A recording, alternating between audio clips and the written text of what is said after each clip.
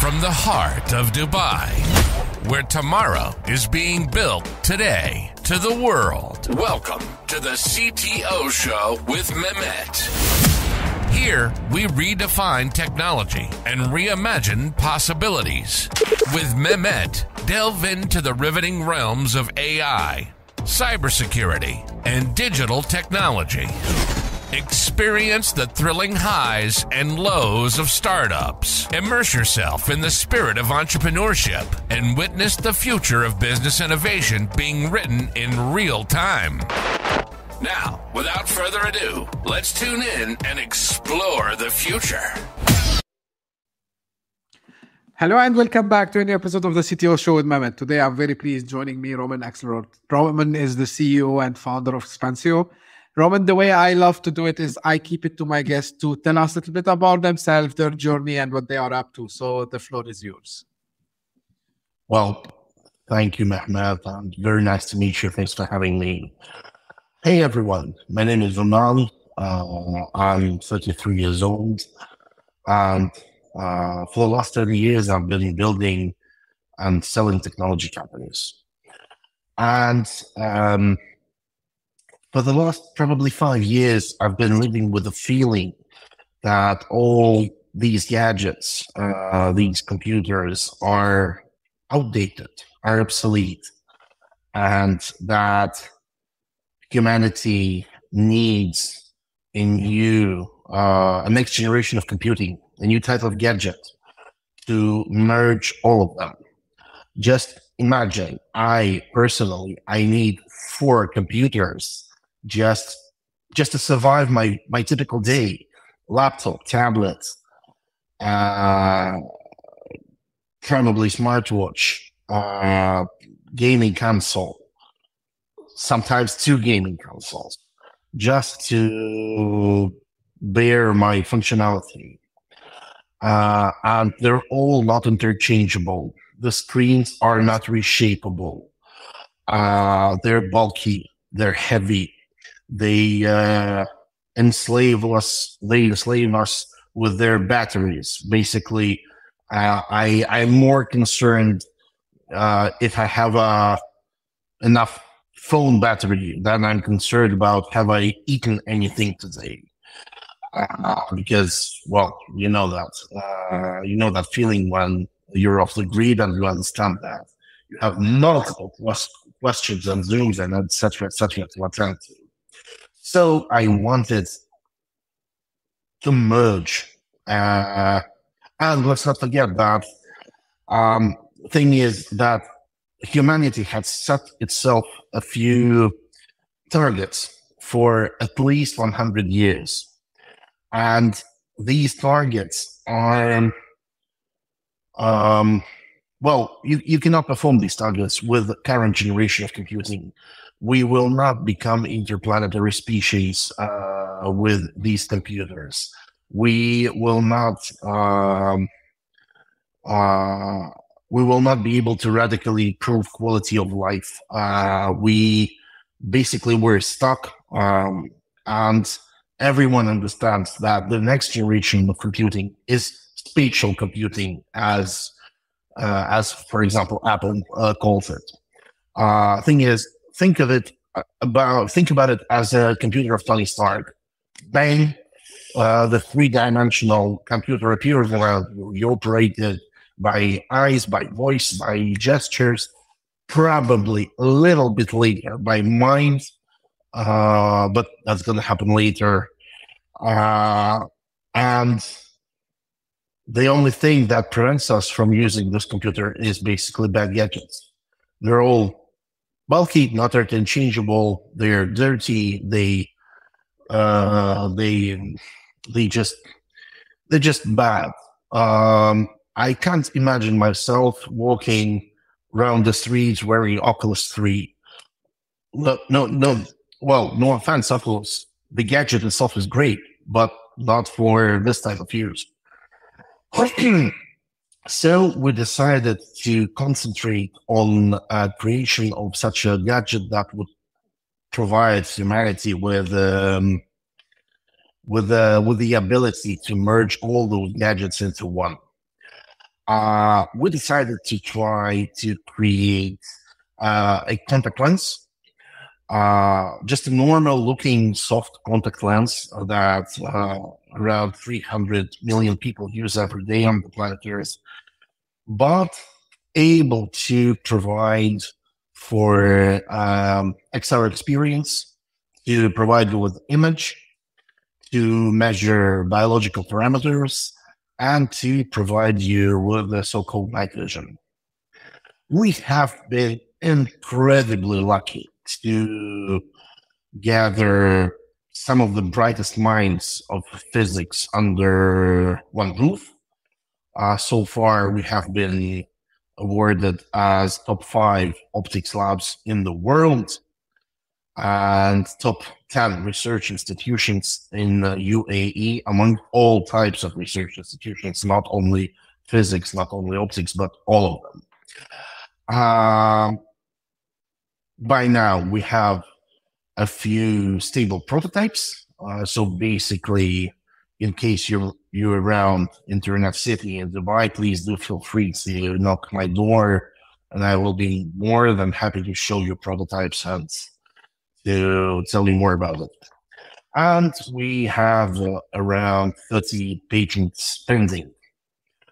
Uh, we hope to approach human trials.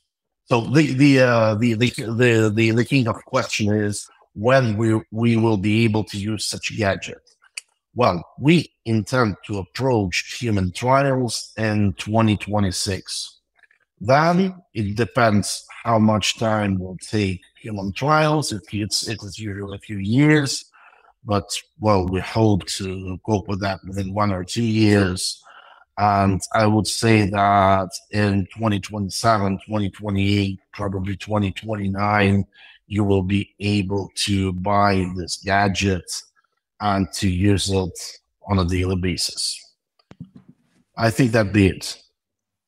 Yeah. So, Roman, just out of curiosity, what you're doing is, you know, the use case is such a fantastic use case. You know, you you um, you summarize. I mean, the the problem, which is usually why uh, founders like yourself they come up with a solution because everyone agrees that computing cannot uh, continue in the way that we've been doing it. But tell me one thing and just just out of curiosity. So, so it's a contact lens right? So it's like similar to the ones so if, if i don't want to wear my glasses i will just get a, a lens and i will mm-hmm. i will stick it. Do you think that this is something that can go i mean let's say if someone who has like maybe some like myself fear from contact lenses.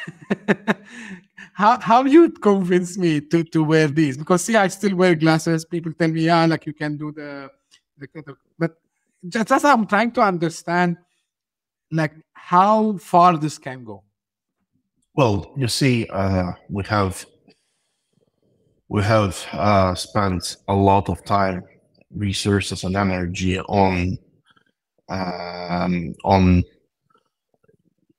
basically interviewing people of their ability to wear these lenses and you well preferred use cases. So we have spent a lot of lot of time and effort on customer development. And so far we know that uh, when you have a poor eyesight you have a few options to do the surgery to wear glasses to wear lenses or just do nothing and suffer. Um, people who wear glasses are usually comfortable uh, with the glasses. People who do not want to wear glasses wear contact lenses, and the main scenario, the main, so to say, the main thing behind wearing contact lenses is that the one who wears them doesn't want to wear glasses. And there are about 300 million people who wear uh, contact lenses on a daily basis. And we primarily aim on them, of course. So basically, we first of all we will provide this with this gadgets with this gadget we will provide uh, uh, those people who do not need to be convinced and then when these once they see the uh, the awesomeness of this gadget, they will convince yourself. Now they, they will convince you and uh, other other people who are who are reluctant about that.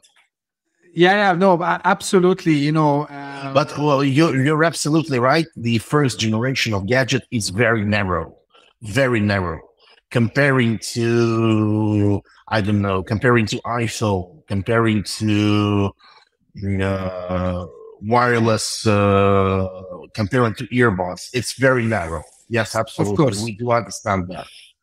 Yeah, but the use cases, you know, and I was checking also the website, Roman, before, uh, you know, we, we get onto the, the, the, the, show here to record.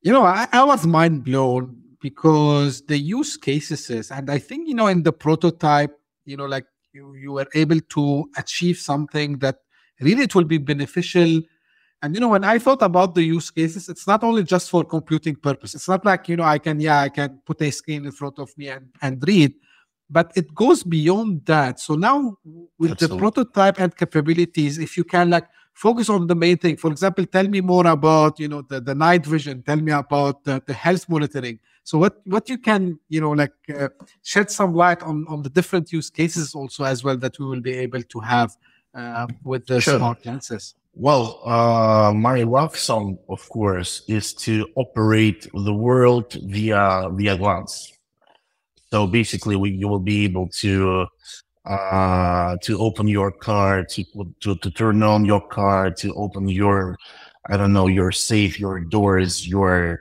computer, your bank accounts, your everything. You will be able to operate your life basically with just a glance, and uh, at the same time, be absolutely calm about your personal data and that um, and uh, the uh, the ability of someone to steal your your your identity or your data or your uh, passwords or your something. Because it will not only when you use your uh, your eye as a mean of um, as um, as as a tool to to uh, to perform such uh, any type of action like probably when you use your eye to uh, to perform a money transaction.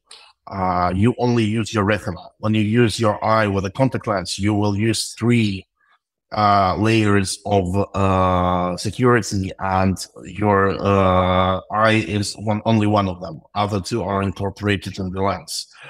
So um, that's my love song, of course. I, I personally, I really do wait for this, uh, for this, for, the, for, this functionality because I hate, uh, I hate uh, taking with me like bunch of keys, plastic cards, phone, etc., etc., etc. I would rather use one gadget to, to, to, to, to um, as an ultimate mean of access to my life, uh, access and operation, I would say. But uh, of course, then it comes to health monitoring. Health monitoring uh, works basically. Well, basically, it's very, it's not very simple. It, uh, it's um, um, thing is that we, as a company, we develop um, not only uh, we develop all kinds of electronics that will be embedded to a contact lens. And uh, the problem behind this this whole concept is to make this electronics, these gadgets, these uh, components, these sensors, so small, transparent, and biocompatible that would, they will be able to to to be put on the contact. Uh, we are well, basically the whole the whole company was gathered around the uh, best minds in modern optoelectronics, uh, developing new materials uh, that are more, well, thousand times more thin than the current ones uh, big techs use in creating their their gadgets. So basically, we spend a lot of time on creating new materials, very thin, very light, very transparent and very biocompatible. Then we produce uh, gadgets, uh, components, sensors out of those materials, and then we we put them onto a normal looking soft contact lens. Uh, we aim at uh, five parameters: heart rate, IOP, intraocular pressure, of course, glucose, uh, um, blood pressure, and uh, um, and uh, sorry, I uh, I forgot the proper the proper word in English. That's Uh, fine. But you you're very much welcome to to to check it on our our website. The idea behind that is to provide you with uh, with uh, very narrow, very up to date advice. Uh, not the not that type of advice like not not that Apple Watch type of advice. Apple Watch just informs you about the fact that your blood pressure is high. We Mhm. want to provide you with the advice like uh, lens sees another cup of coffee and tells you it's enough of coffee, your blood pressure is too high. Or uh, lens sees me and says you stop talking to Roman, he irritates you. Uh, cut uh, the spent with Roman. Uh, he clearly, we, I, I, as a gadget, I see by judging by your parameters that we feel bad near this person. Uh, so we wanted to, to, to make it more narrow, I would say. Perfect. Just again, like out of curiosity, and I didn't prepare these questions, but because you know I'm now trying to uh, visualize, you know, the, the the whole thing working together. Do I need to be always connected to the internet to make this working, or it can be active by its own? No, absolutely. You don't have to be connected to the internet. See, uh, I have to explain one thing. We do not Sure. create, we do not try to put the whole computing system on onto your eye. We only, um, we only put their uh, components um, responsible for image, sensing, and night vision uh, the computing power will be stored somewhere else. We uh, we call uh, we call it a companion device. It's uh, it's, uh, it's a it's a device uh, probably this size uh, that will contain a uh, SIM card to use internet, a computing power to basically to to work with all the data you have gathered with the lens. And that will connect with the with the lens wirelessly and at the same time it will provide energy for the lens. Uh, so basically you will be able to wear them like a normal contact lenses day Mhm. the, the the whole the whole the whole concept behind product management of the company is to make it as comfortable and reliable as just a basic contact lens. Got it. Roman, also like out of curiosity, and you know, uh, I I I grew up in uh, uh, in an environment where I was seeing, you know, the chips year after year getting smaller and smaller and smaller, right? And a few days back, we last week we saw like Nvidia and you know the the chip that has 200 billion transistors in just you know like uh, like maybe smaller than my my palm.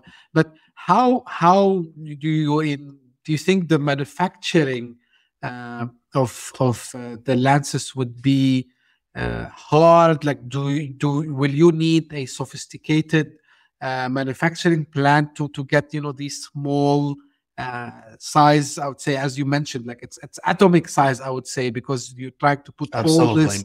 Yeah. Uh, so so can you tell me a little bit more about you know, Sure, how you envision that? Yeah. That is that is actually very interesting. Very interesting. You see, uh, today we live in a silicon era. All our gadgets are produced. Uh, well, the key, the main, uh, the main material behind all kinds of gadgets we use is silicon. And uh, why don't we have um, those uh, beautiful looking AR glasses? Because silicon and uh, lithium uh, battery batteries are just too big. Uh, so basically, you need a lot of space to put components made of silicon. That is why all the gadgets, all uh, the um, all the um, uh, XR, MR gadgets are so bulky, so huge, like like like Vision Pro or uh, Oculus or even X-Real and Real. They're all relatively big. The idea is to use is not to use the silicon era technology at all probably you heard that, oh my God, about 12, 13 years ago, two um, Russian physicists, uh, Geim and Novoselov, they received the Nobel Prize for discovering um, new new qualities of uh, two-dimensional materials. You probably know the hyped word graphene. Uh, um, so uh, our company has emerged from the lab that was that concentrated on two-dimensional materials, atomic thin materials. Like I'm not joking. Basically, those materials are one atom thin. Uh, the um, so my co-founder, uh, who appears to my co-founder, co-founder Valentyn Volkov, who appears to be one of the world's most well-known scientists in uh, modern optoelectronics and the materials field. Um, he spent like 25 years developing them, uh, and the whole the whole idea of the company, the whole the, the the the lab behind the company specializes in creation of those materials. And as you may imagine, there are no means in the world to produce gadgets out of those materials. So basically, when you need to produce a new type of, I don't know, smartphone, foldable, this smart, I don't know, you, you want to produce a foldable smartphone that will fold in four dimensions or six dimensions. You just call TSMC and say, TSMC, hey, I, I need this, this kind of uh, wafers. I need this kind of chips. I need this kind of everything uh, you don't have such an option uh, when we uh, when we speak about um, when we speak about uh, XR gadgets. So basically, even with those gadgets like uh, Vision Pro that are silicon based, still, I have to say, I from from from the, from the engineering standpoint, I absolutely admire what they did. This this this gadget is a love song and I really do wait for next generations, and I expect them to become even more cool from from the engineering side of view. But even they were forced to reinvent the whole production process. Uh, we do not use silicon-based tech. So it's absolutely up to us how to produce at how to scale production of this gadget. So far, we think about very sophisticated 3D printing. And in our lab, um, we have a lot of, um, I would describe it as a some sort of um, of a con- conjunction of, of, of a mic- microscope, 3D printer, and a robot that is able to 3D print those 2D components and at the same time using robotic arms to put them onto the lens. That's uh, that's the current state of, uh, of affairs, but we really we absolutely understand that uh, in a few years we will need a whole new concept of, of production of gadgets. Absolutely.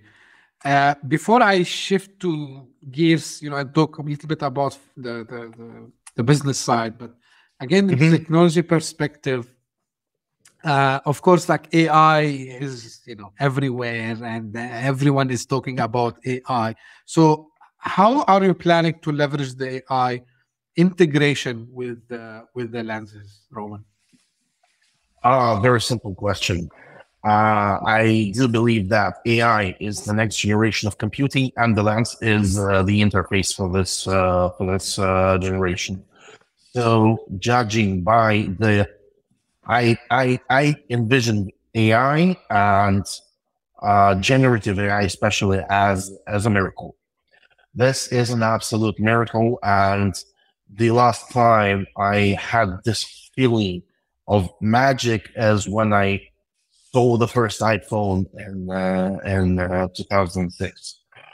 Uh, we create. I want you to think about the computing of, of the future as a as an ecosystem of software and apps you use every day. Uh, while having multiple interfaces to use this same ecosystem and apps. Uh, when you're at home, anything can be your screen, all your walls, all your surfaces, all your, even yourself, you can be a screen. When you're at home, when you're not concerned about privacy, when you're alone, or there are only uh, closest ones and loved ones around you, and you're not, you're not feeling uh, well uh, you, you don't you you don't you don't have a necessity to to to preserve your um, your um, your your information. When you're outside, when you're at work, you can use your glasses. When you're on on when you're jogging or when you're driving a motorbike or a helicopter or in space, you can use your contact lens. You will have you will have multiple ways to consume uh, this um, this ecosystem of software and apps, you will have multiple interfaces. And I believe that AI assistant will be a key point of contact and center of this uh, new ecosystem. At least I uh, I would very much love to have such a system, and you can. Well, humanity has imagined such a thing for decades. Just uh, look at uh, the evolution of um, of uh, of Jarvis and uh, Iron Man movies. It starts with just a voice in Tony Stark's head in the helmet, and then it uh, it becomes a human-like being, and then uh, well, it well it takes us to a rather scary scary, uh, scary uh, Elon Muskish thing about uh, about uh, the uh, the ability of the general AI to to to to, to put itself instead of humans, but still. Humanity has imagined this this type of computing system for decades, and I think it's time for it. Yeah, to, to your point, and I think I mentioned uh, previously, you know, when, when we were kids, you know, I'm in the, from the generation that uh, when in the cartoons where they used to show us like people doing video conferencing, we're like laughing at them, like, see these guys, they are crazy.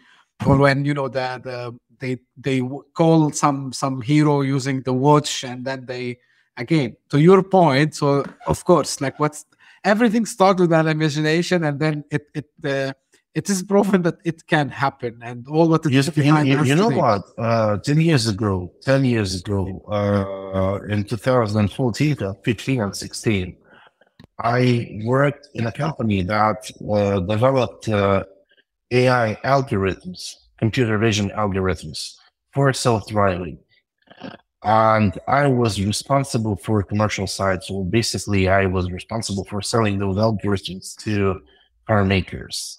And as I approached them, as I approached the conferences and um, as I uh, spoke to them, remember 2014, 2015, that was considered as a real deep tech. Neural networks, are you guys biologists or what? Uh, it was only 10 years ago. Now, today in 2024, Everyone knows what a neural network is. Everyone knows what the machine learning is. And well, basically, use almost any type of business, especially B2C, B2C business, use those technologies. So it took only 10 years to, for them to become fully acceptable within the society. Absolutely. Now, uh, Roman, you, you are into, you just mentioned you are into the deep tech, right? And you choose to have Dubai as your headquarter. And this is something I kept nagging, if if I might say, why we don't have too much deep tech here. So of course we have plenty of successful B2C businesses, whether they are into the food delivery apps, uh, ride hailing. We start to see some B2B fintech, HR tech, deep tech. But you choose Dubai to be your headquarter. What drove this decision to choose Dubai? And very easy. Yeah. Uh, well, uh, thing is that myself, I'm Russian, and my partner, my co-founder and CTO, the company is Ukrainian. Yes, it happens, and uh, we have started the company because before the Ukrainian outbreak, and the whole company was located in uh, in uh, uh, Denmark, Moscow, and partly Eastern Europe, Kiev, and so on. Uh, and the whole company, the, the first generation of employees, they're all either Ukrainians or Russians, and we're all friends. And we do not want to be involved in this kind of situation. We just don't want to have anything in common with this war. So we we say make plans, not war. So when uh, the Ukrainian outbreak started, we decided to relocate the whole country uh, and not to wait uh, until something even worse happens. And of course, um, we wanted to be in a place very safe and very open-minded. And of course, uh, if I were asked 10 years ago, where should such a company be located? I would definitely answer Switzerland. Mm-hmm. Uh, Switzerland or Germany or USA. Um, but today I see, first of all, that well, everyday life, day to day life in Dubai is much more comfortable than in those states. Uh, the culture, the her- the heritage, the um, the way the country is operated, the uh, the safety, the cleanness, the the way uh, the way that the way the uh, rulers of the country see its future. It, it resonates with us hugely, heavily. And I see on a personal notice, I see many, many, many, many people from from the UK, from um, from Switzerland, from uh, from the US, but well, of course, from the UK especially, uh, wishing to immigrate to, to, to, the Middle East, wishing to immigrate to, to either Dubai or Abu Dhabi or Saudi or Bahrain, because everyone understands that the next chapter of the, the humanity's development will not happen in Europe and in the US.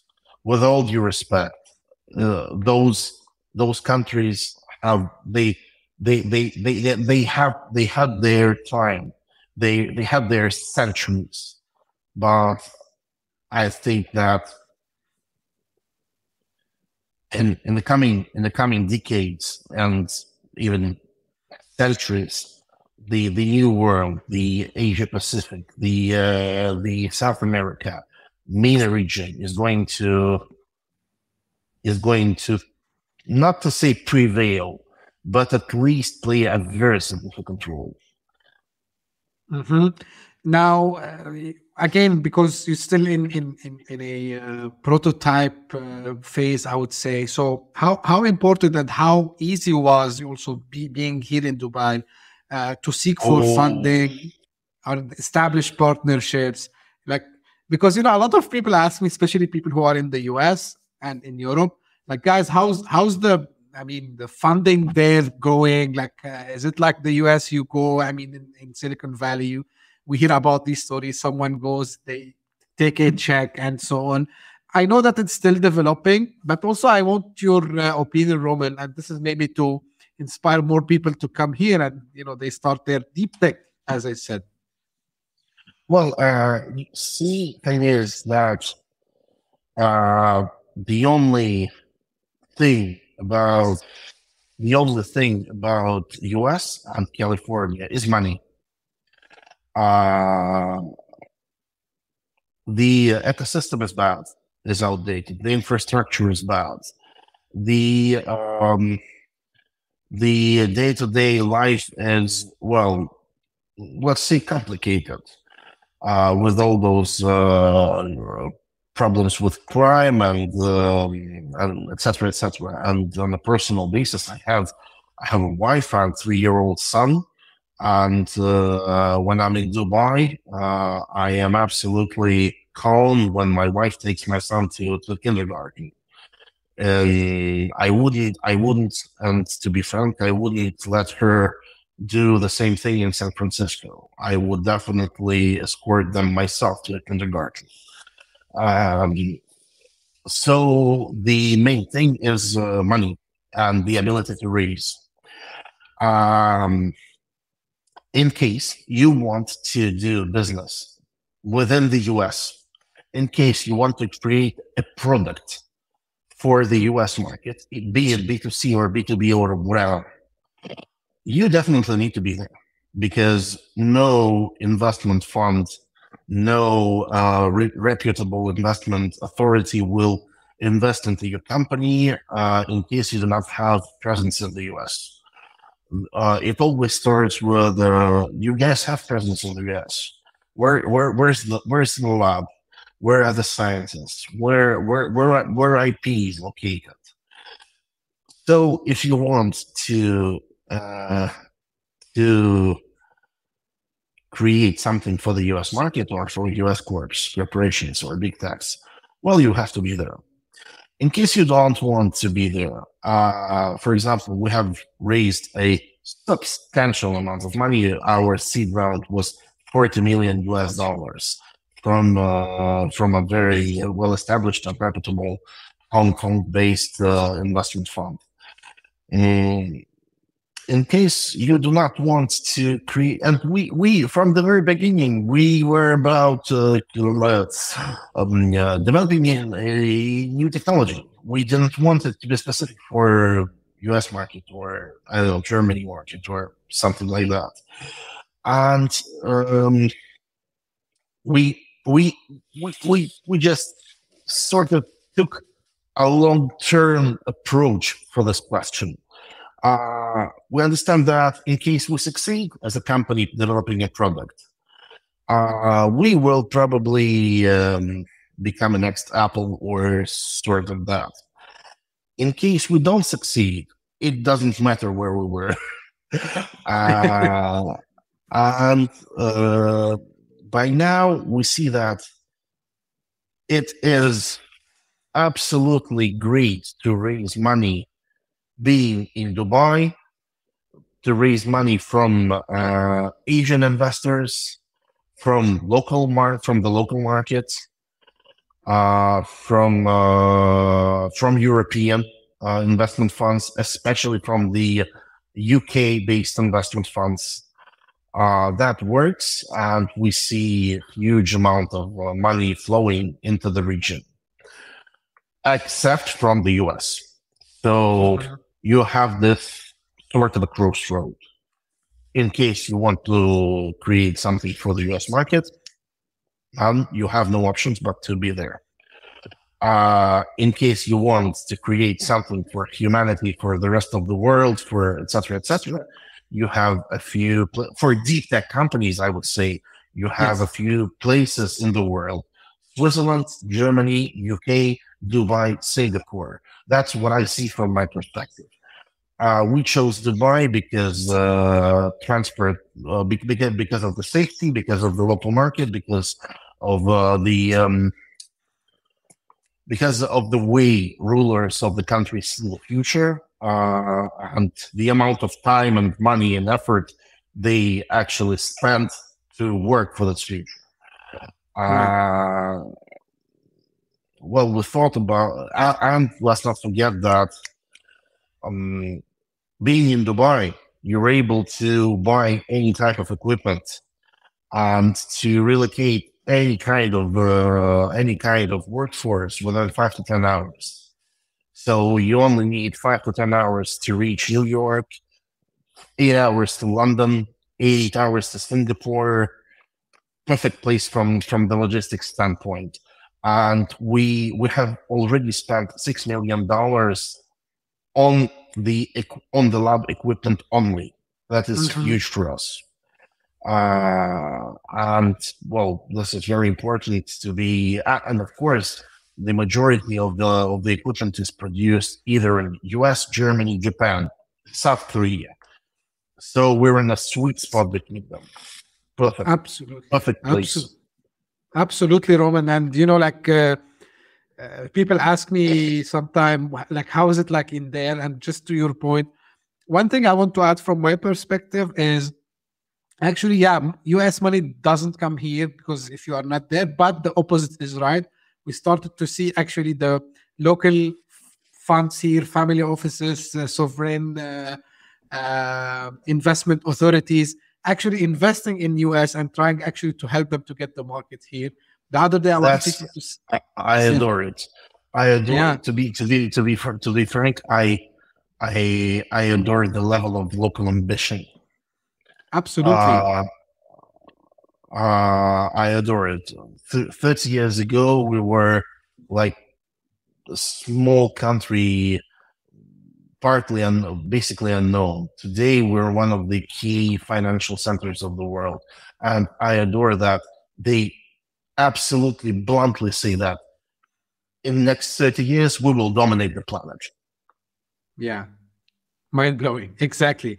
I, I I remember. I remember if if if in 2005, the year I arrived to this country, if someone would tell me, uh, "Hey, there will be a deep tech company out of here," like uh, shit, uh, what? But you know, I the, the, the in I remember very well. It was the financial crisis. Maybe I'm sharing this the first time on the on the podcast in 2009, 2010, when everyone was leaving actually Dubai, and everyone was saying they're done. You're wasting your time there. I said, okay, let me just tell you one thing. The way, you know, this infrastructure, you know, the way they have designed, you know, everything, how it, the processes, I would say, you know, this is this is not something that you can just throw because this is something sustainable and the infrastructure is sustainable. And I was right. 2012 things started to boom again, and you know, things started, and now here we go. We are 2024, and yeah, like uh, absolutely. Roman, final thing. I know, like I took more than I was suggest- supposed to take from your time, but I want you because you have done multiple exits also previously, right? So, how we can encourage more uh, aspiring entrepreneurs to be in the deep tech space? Mm, that's the worst uh, thing if you want just to make money. If you want to make money, uh, do right hailing, food delivery, uh, fintech, uh, etc., etc. And I was uh, well, my um, I, I I took part in selling three companies. In two of them, I was a hired top manager with uh, with an option, and the last company I was one of three co-founders. Um, they all were in first the first of them uh, was in deep tech space, and then it was esports and fintech. So uh, I specifically decided to switch to deep tech because I wanted to not to create a company, pump it, and sell it within three years. I wanted to. I decided that I want to create something Um, well, you, you see, I have a tattoo. We we are here to put a dent in the universe. Uh, famous quote by Purpose. Steve Jobs.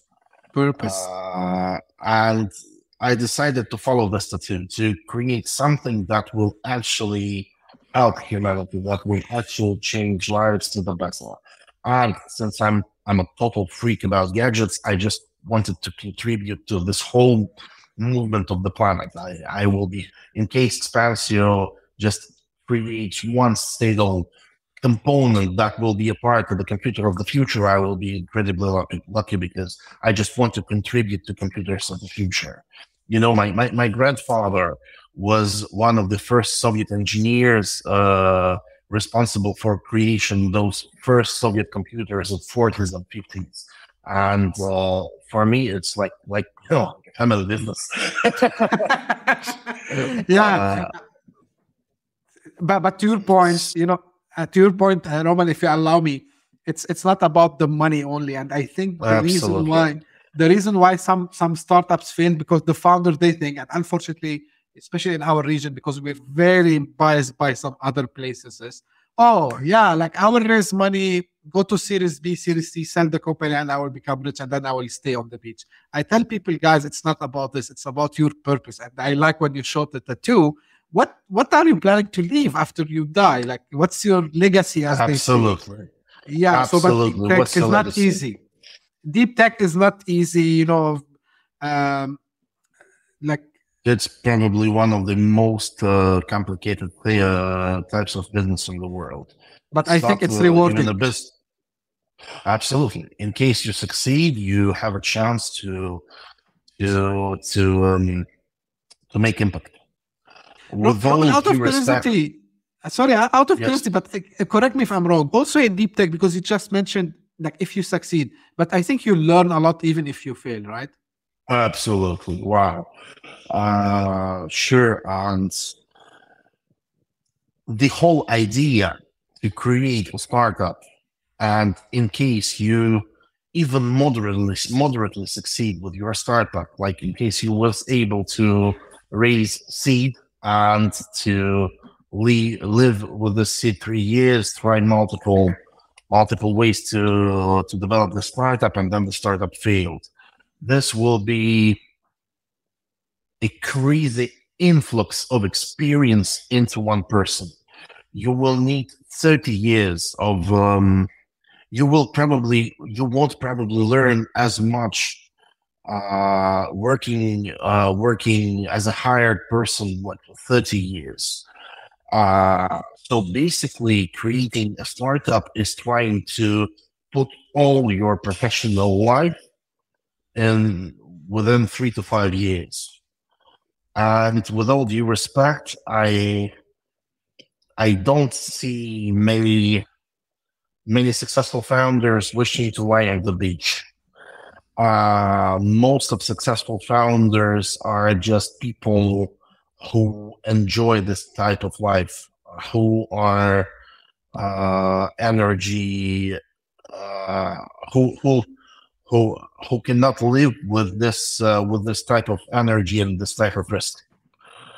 Um, so, with all due respect, in case you want to lie on the beach, I would suggest either creating something very very simple like food delivery and selling it within two three years, Hmm. or just to find a good job and to save money and to invest money and to uh well have long weekends i would say.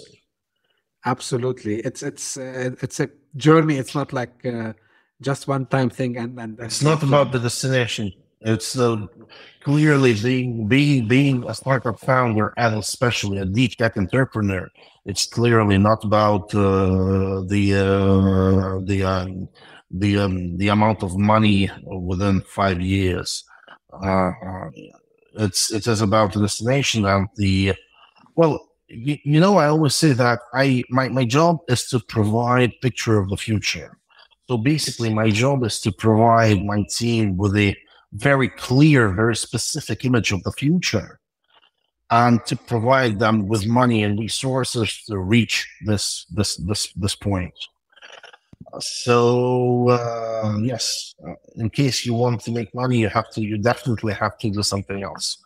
But in case you want to change the world uh, to contribute to overall humanity and to probably make insane amount of money in the end, uh, right. you should probably try. That's that's fantastic. Uh, Roman, finally, where we can find how we can follow, uh, you know, all the updates about uh, the company and also get in touch with you if someone is interested. Um, well, uh, LinkedIn, LinkedIn page of a company, my LinkedIn page, uh, LinkedIn page of my co-founder, uh, my Facebook, my Instagram, and of course uh, the mm, press releases on our website. Okay, great. I will make sure that I will put uh, these links uh, in in the show notes. Sure, absolutely. And in case someone wonders about something, please do feel free to text me in uh, LinkedIn or in Telegram uh, to just just just to bluntly ask questions. Sure, definitely. Roman, like really, I enjoyed the discussion with you today. It was very well, rich. Pleasure is mine. Uh, uh, you know, and what you're doing is uh, not only as a tech enthusiast, I would say, and I, you know, someone who have background in technology, get me excited. What get me excited is the, you know, your your vision and your passion and your purpose of, you know, putting your dads in the world. And this is why I aim to do uh, with this uh, with this podcast. Hopefully, I can succeed still work in progress. We will see. And uh, again, this is for the you know audience.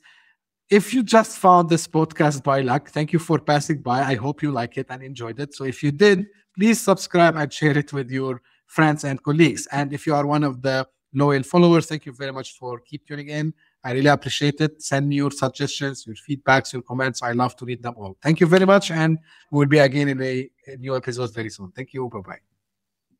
Hit that subscribe button, share the show with your tech savvy friends and fellow entrepreneurs, and leave us a review on your favorite podcast app. Your support means the world to us.